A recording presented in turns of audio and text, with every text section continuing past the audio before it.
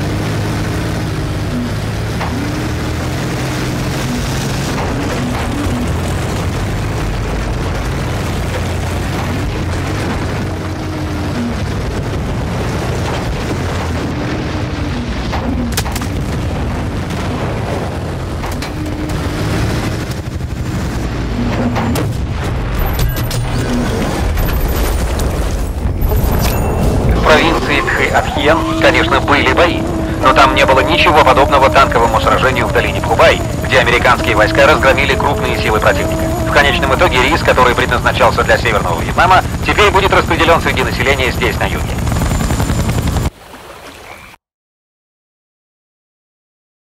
К нам приходят разрозненные сведения, что союзным подразделениям, проводящим зачистку, было приказано уничтожить деревню, предположительно являвшуюся опорной точкой СВА. ОЦК считает обнаружение этой деревни первостепенной задачей, утверждая, что она является важнейшей опорной базой противника.